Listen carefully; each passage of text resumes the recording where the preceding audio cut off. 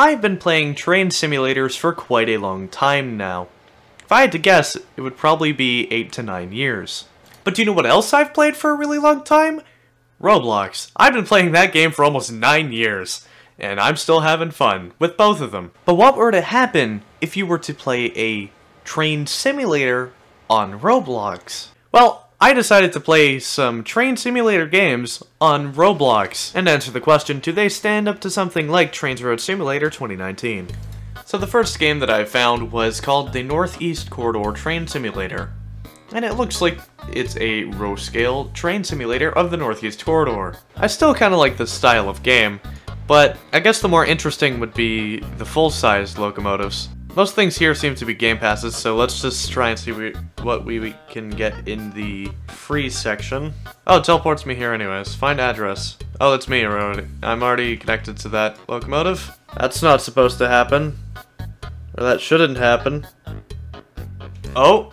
Why is this happening? Next on the list was Rails Unlimited, which honestly I quite liked as a game, but I feel like they needed to add quite a bit more content to the game, as all you could do was just drive around. However, the scenery did look nice and it looked all very well put together. Oh yeah, and you can derail. In Steam Age, much like Rails Unlimited, you just drive around, going to different places on the map. The only difference being is that you pretty much only have steam locomotives. And you're in Britain. Streamlined is a game that arguably is one of the best Roblox train simulators.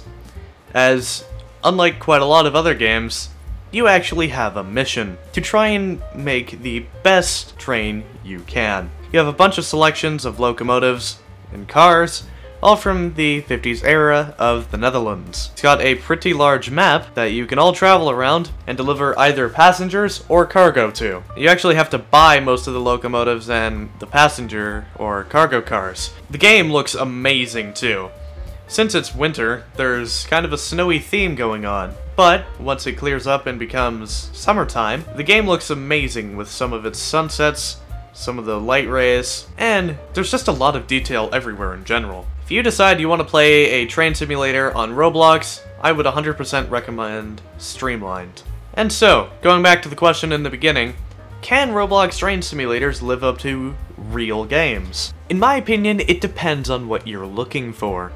If you're looking for like a tycoon simulator style game, then Streamlined is definitely the way to go. My description of it would be, it's Transport Fever, except you play the trains. If you're looking at something like you want to play like a model railroad, then going with row scale type games like the Northeast Corridor is something that you may be interested in. Or if you just want to screw around on an open map and play games like Rails Unlimited, then go right ahead.